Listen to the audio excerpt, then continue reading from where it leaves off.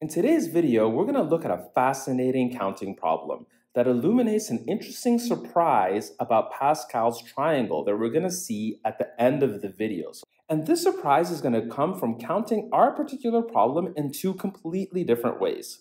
So here's the problem setup. Suppose you have a bunch of individuals in a room, and they're all labeled by these dots right over here.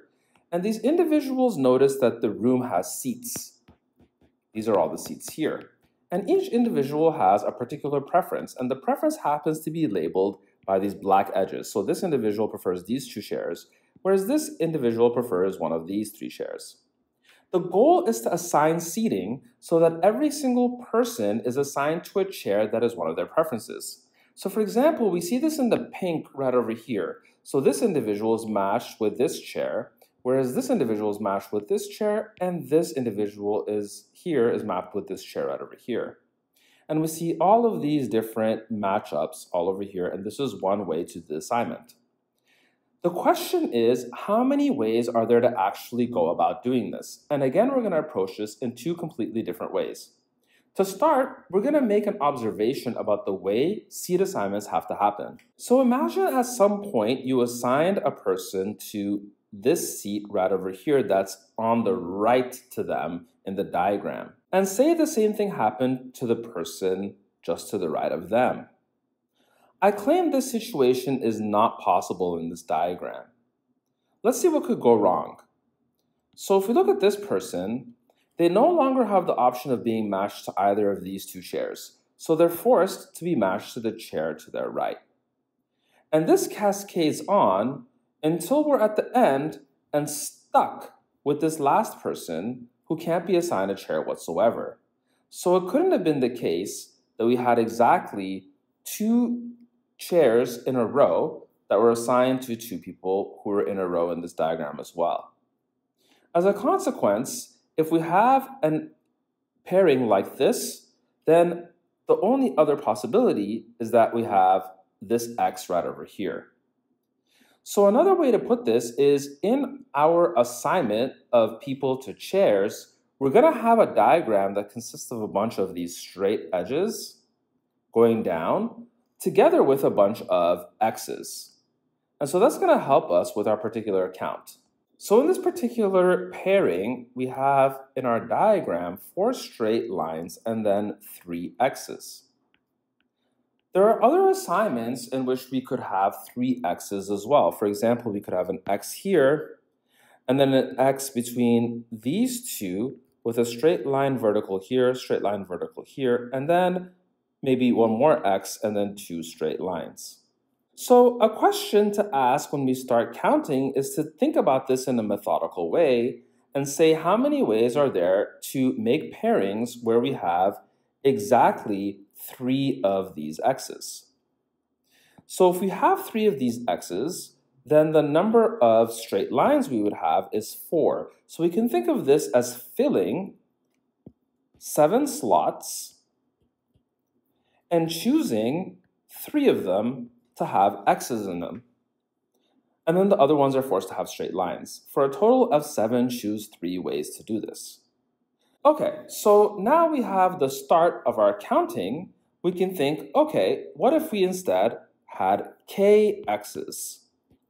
In that situation, the total number of points we have here in general is 10. But overall, if we replace 10 with a random number, it would be n. And if we have kx's, the number of vertical lines we'll have is, well, there's in total n pairings that we need, and the x's each account for two pairings, so it'd be n minus 2k.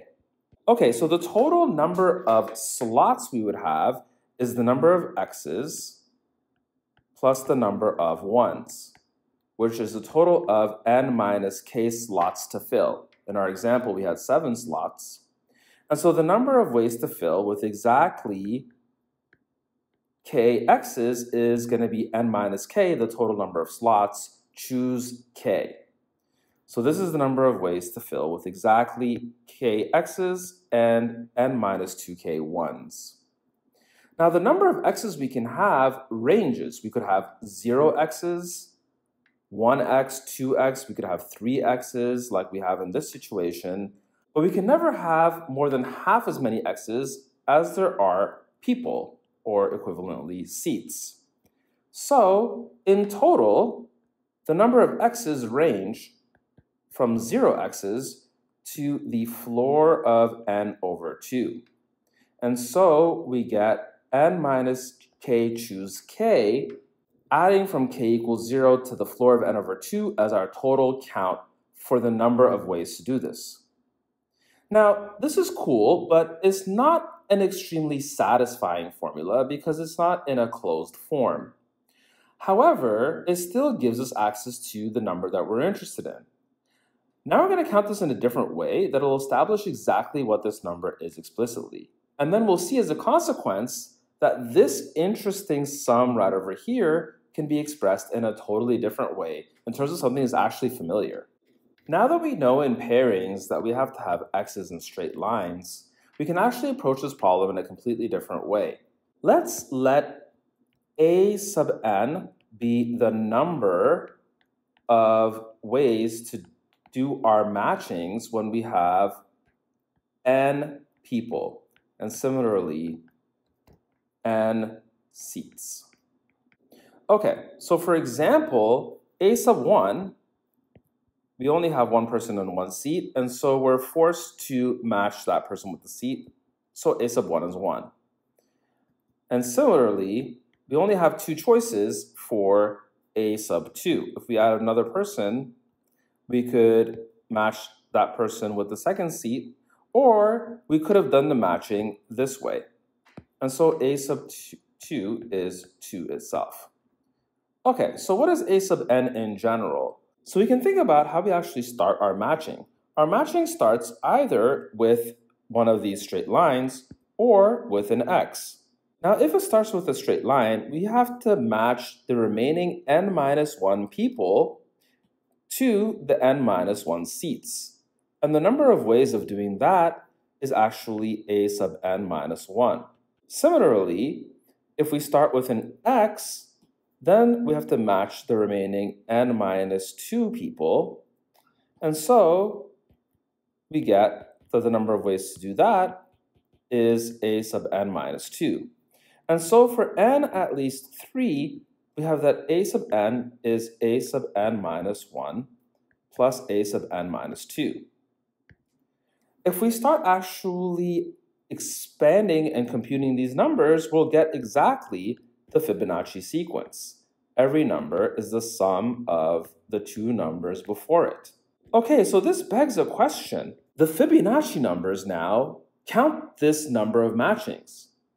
But at the same time, we had a formula for this in terms of the sum of binomial coefficients. So doesn't that mean those two things are the same? Yes, indeed it does. And we can actually see this by looking explicitly at Pascal's triangle. So for example, when n is 2, we'll get 2 choose 0 plus 1 choose 1. And that's this diagonal right over here. When n is 3, we'll get this sum here, and n is 4, we'll get this sum. And so the sums we're seeing on the right-hand side are actually all sums of these diagonals of Pascal's triangle. If we look at the explicit writing of these numbers over here, we can actually start adding them up and notice this interesting trend. We have 2, 1 plus 2 is 3, and 1 plus 3 plus 1 is 5. Here we get 8, and 13, etc. And so this actually is a formula for the Fibonacci numbers in terms of binomial coefficients. And we got that completely by looking at things combinatorially.